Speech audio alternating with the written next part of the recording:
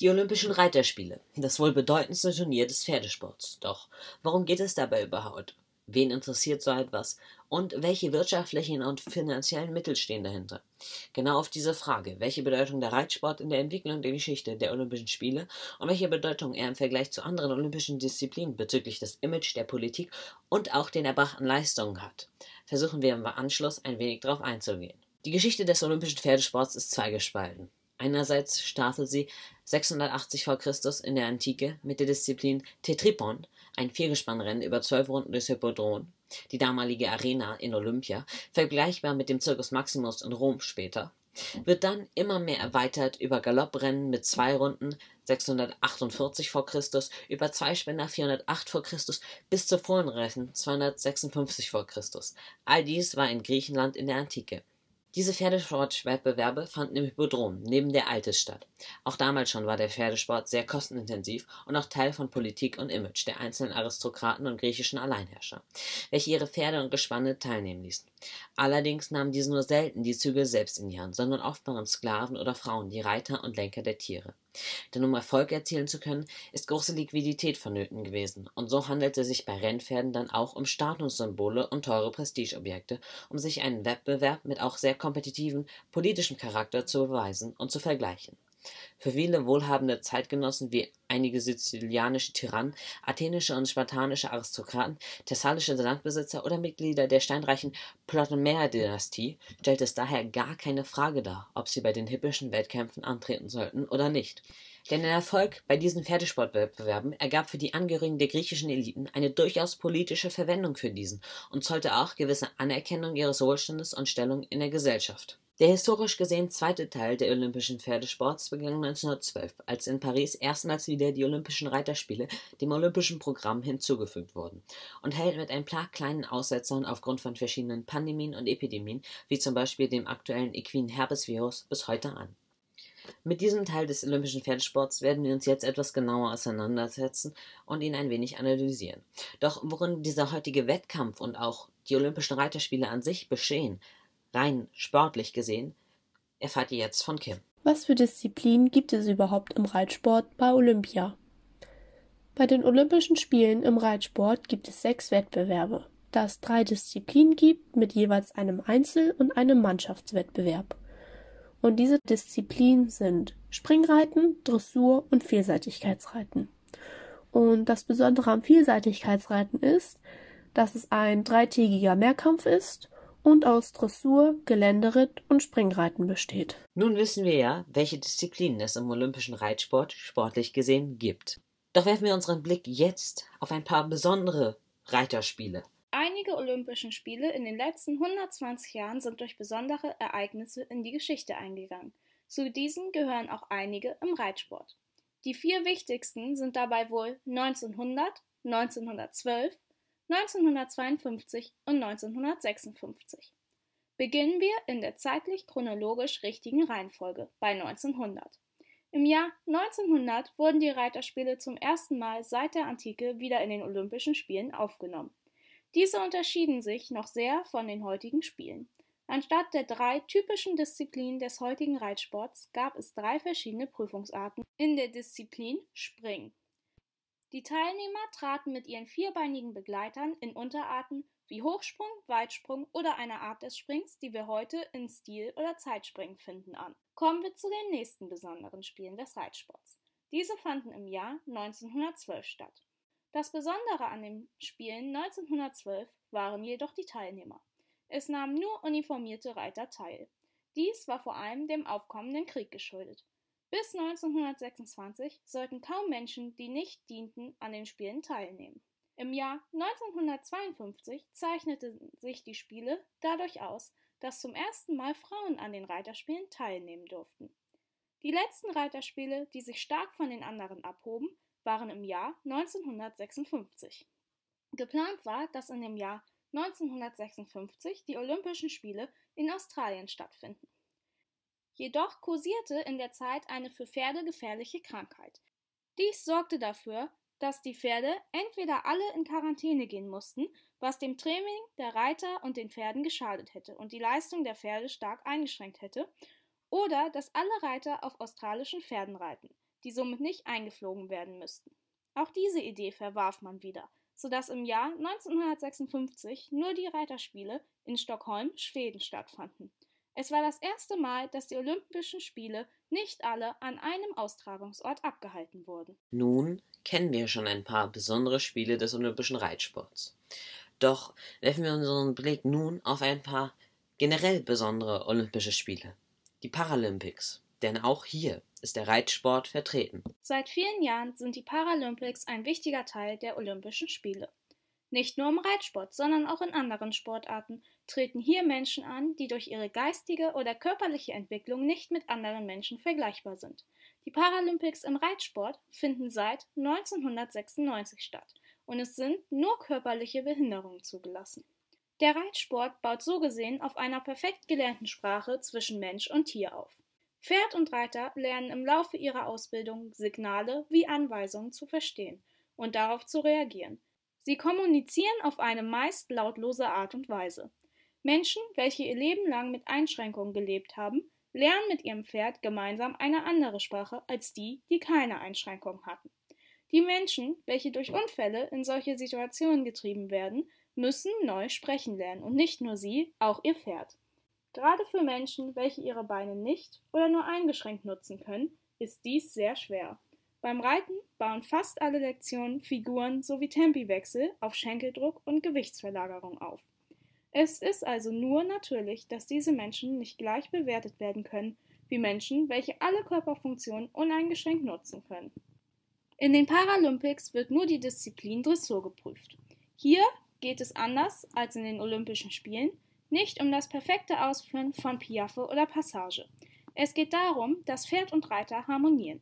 Da den Menschen filigranes Einwirken oft nicht möglich ist, werden die Reiter in vielen Punkten kreativ. In Deutschland wird diese Art jedoch nicht stark unterstützt. Den betroffenen Personen fällt es schwer, Pferde mit guten Veranlagungen, die entsprechend ausgebildet sind, zu bekommen. Wir wissen also jetzt, in welcher Art und Weise und seit wann die Olympischen Reiterspiele stattfinden und ausgetragen werden. Doch lass uns nun einen etwas theoretischeren Blick hinter die Fassaden dieser werfen. Wie sieht es mit der Geschlechterverteilung aus? Welche Rolle spielt Deutschland als teilnehmende Nation? Wie ist das Image allgemein? Und natürlich auch, wie sieht der finanzielle Hintergrund aus? Wie ist das mit der Geschlechterunterteilung bei den Olympischen Spielen im Reitsport eigentlich? Frauen bekamen zuerst 1952 in der Dressur und später dann auch im Springreiten und in der Vielseitigkeit die Möglichkeit, an den Wettbewerben teilzunehmen. Heutzutage, also im normalen Reitsport, liegt die Frauenquote so bei 78 Prozent. Aber beim Hochleistungsreitsport, wie beim Reitsport bei Olympia, liegt die Frauenquote nur bei 11 Prozent und deutlich mehr Männer gehen hier an den Start.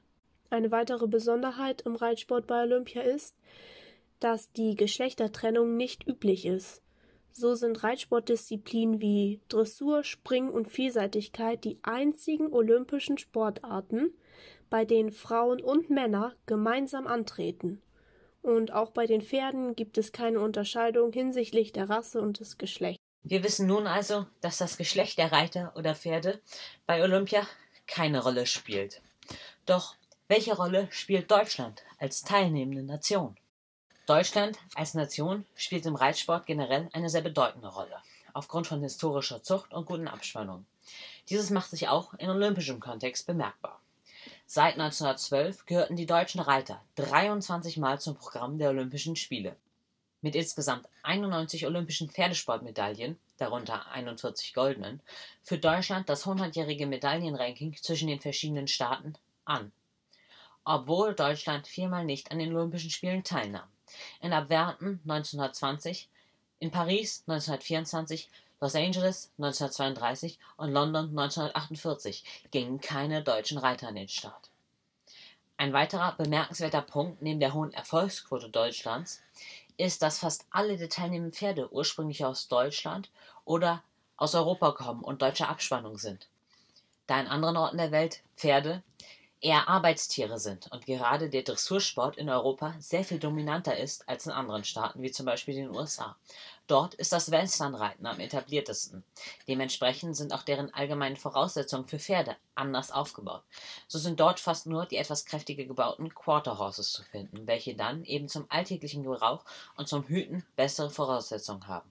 Auch liegt ihr eigentlicher Ursprung ebenfalls in Nord- und Südamerika. In Europa und gerade Deutschland sind eher Warmblüter wie Oldenburger oder Hannoveraner verbreitet. Und auch im Springen oder in der Dressur, also im Turniersport, sind diese aufgrund ihres Aussehens, Gemüt und ihrer Kraft sehr geschätzt. Auch kommen viele Springpferde hier aus Schleswig-Holstein oder Niedersachsen, da woanders einfach der Platz zur Zucht oft fehlt, aber auch einfach die Abspannung nicht so perfekt aufeinander passt. Daher liegt auch das größte Gestüt Deutschlands, das Gestüt Brümerhöf, in Niedersachsen, genauer gesagt in Soltau. Zudem ist auch die erfolgreichste Reiterin aller Zeiten und somit auch in der Historie der Olympischen Spiele Isabel Wert, deutscher Herkunft. Mit sechs Goldmedaillen und viermal Silber übertrifft sie seit den Olympischen Spielen in Rio 2016 den bis dahin erfolgreichsten Olympiareiter Dr. Rainer Klimke, der ebenfalls sechs Goldmedaillen, aber in Anführungszeichen nur zweimal Bronze gewinnen konnte. Hans-Güter Winkler hält den Rekord bei den Springreitern mit sieben olympischen Medaillen, darunter fünf goldene. Auch ist die sechsfache Olympiasiegerin mit insgesamt zehn olympischen Medaillen, neunfache Weltmeisterin, zwanzigfache Europameisterin und vierzehnfache Deutsche Meisterin und damit weltweit die erfolgreichste Reiterin. Im Dressursport, aber auch allgemein gesehen. Nun wissen wir also auch über die olympische Bedeutung der Rolle Deutschlands als teilnehmende Nation Bescheid. Doch wie sieht es innerstaatlich aus? Wer guckt sich das an? Wie ist das Image des Reitsports? Dies werden wir uns am Beispiel der Olympischen Spiele 2016 in Rio angucken. Der Reitsport gehört bei den Olympischen Spielen 2016 zwar nicht zu den beliebtesten Sportarten, dennoch ist der Reitsport allgemein in Deutschland sehr beliebt. So gaben 2016 rund 14 Millionen Befragte an, Interesse am Reitsport zu haben. Rund 4 Millionen interessieren sich ganz besonders für diese Sportart. 3,8 Millionen bezeichnen sich selber als Reiter und 1,2 Millionen betreiben diese Sportart intensiv. 2016 wollten so auch 18 Prozent der Deutschen bei den Olympischen Spielen in Rio den Reitsport live verfolgen. Im Vergleich wollten 57 Prozent der Deutschen Leichtathletik verfolgen. Der Reitsport ist so nicht unbedingt eine der Lieblingssportarten bei Olympia, Dennoch steht er auf der Liste der 15 beliebtesten. Vergleicht man nun beispielsweise ein Reitstadion mit anderen Stadien anderer Sportarten, dann fällt auch hier auf, dass der Reitsport doch recht viele Zuschauer anlockt. Das Hauptstadion des Reitsports in Deutschland ist das Reitstadion in Aachen. Der Innenraum ist 150 mal 120 Meter groß und es gibt ca. 40.000 Plätze. Auch das Deutsche Bankstadion als Dressurreitstadion in Aachen ist nicht klein und hat eine Kapazität von 6300 Plätzen und ist die weltweit größte Arena ihrer Art. Das Olympiastadion in Berlin hingegen ist natürlich doch noch etwas größer und hat ca. 74.500 Plätze zu bieten. Und auch beim Fußball sind die Stadien doch meist größer und die Allianz Arena in München umfasst so ca. 75.000 Plätze. Doch vergleicht man den Reitsport und die Stadien mit anderen olympischen Sportarten wie Schwimmen oder Handball, dann haben Reitstadien doch mehr Kapazitäten als Schwimmen- oder Handballstadien. Das Schwimmstadion in Berlin beispielsweise umfasst so gerade einmal 18.500 Plätze und ist so deutlich kleiner als ein Reitstadion. Insgesamt hat der Reitsport doch ein recht gutes Image und ist gern gesehen bei den Olympischen Spielen. Auch werden viele Zuschauer begeistert von dem Sport und viele Zuschauer trudeln in das Reitstadion ein, um den Reitsport bei den Olympischen Spielen anzuschauen. Was unterscheidet die Olympischen Reiterspiele jetzt aber hinsichtlich der Wirtschaft und der Politik von anderen olympischen Disziplinen? Fangen wir einmal mit der Finanzierung an. Die Veranstaltung der Spiele kostet ungefähr 10 bis 15 Milliarden Euro. Die Reiterspiele sind nur ein kleiner Teil von diesen und trotzdem kostenaufwendig. Nehmen wir nun einmal das Wichtigste fürs Reiten, das Pferd. Ein gutes Pferd bekommt man schon ab 100.000 Euro. Nur dieses Pferd ist dann keineswegs olympiatauglich. Um einmal ein Beispiel zu nennen. Das 2020 verstorbene Wunderpferd Totilas war ein Dressurpferd. Es war das teuerste und wurde mit zehn Jahren für etwa 10 Millionen Euro verkauft. Hier hat sich das Ganze natürlich durch Bekanntschaft, Abstammung, Leistung und Veranlagung hochgespielt. Gute Trainer schaffen es, ein Fohlen, das für 20.000 Euro gekauft wurde, in wenigen Jahren so auszubilden, dass sie es ab 1,5 Millionen Euro weiterverkaufen können.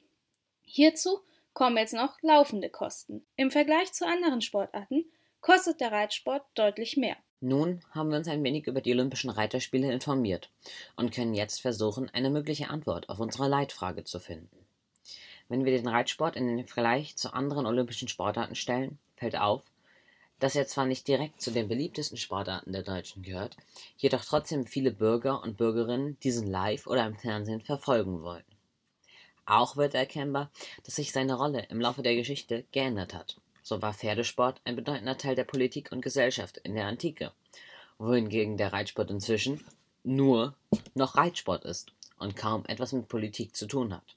Ein weiterer Punkt, der uns klar werden konnte, ist, dass der turnierorientierte Reitsport eine Art großes Zentrum hier in Deutschland und Europa besitzt unter anderem aufgrund der Pferdezucht, der bekannten Trainer und der guten Ausbildung. Am herausstechendste Eigenschaft des Reitsports sind jedoch in gewisser Weise die Finanzen. Denn hier kann es innerhalb von kurzer Zeit zu enormen Wertsteigerungen von Pferden kommen. Aber auch die Basispreise für Pferde sind relativ hoch. Wie die Tierhaltung an sich. Es laufen also hinter diesem sportlichen Ereignis der Olympischen Reiterspiele sehr große Geldsummen in verschiedenen Unterbereichen, die so direkt nicht mit dem Reiten selbst unbedingt zu tun haben und eine Verbindung zu bringen sind für jeden. Geschichtlich gesehen hat also der Pferdesport damals ein wenig den Weg für die Hinzunahme weiterer olympischer Sportarten gesorgt. Und auch heute noch nimmt er als geschlechterneutraler Sport in gewisser Weise eine beispielhafte Vorzeigerolle ein. Jedoch hat er an politischer und auch an gesellschaftlicher Bedeutung verloren und ist nur in bestimmten Kreisen oder Gruppen stark von Bedeutung und interessant. Doch besitzen Aktionäre im Reitsport immer noch irgendwo einen gewissen Einfluss auf die olympischen Veranstaltungen, da man es für das Reiten bestimmte Arenen und Stadien braucht, aber auch die adressierten Personen vermutlich ein wenig von der hohen Liquidität der Aktionäre und deren Lobby beeinflusst sind. Das war's mit unserem Video zu den Olympischen Reiterspielen.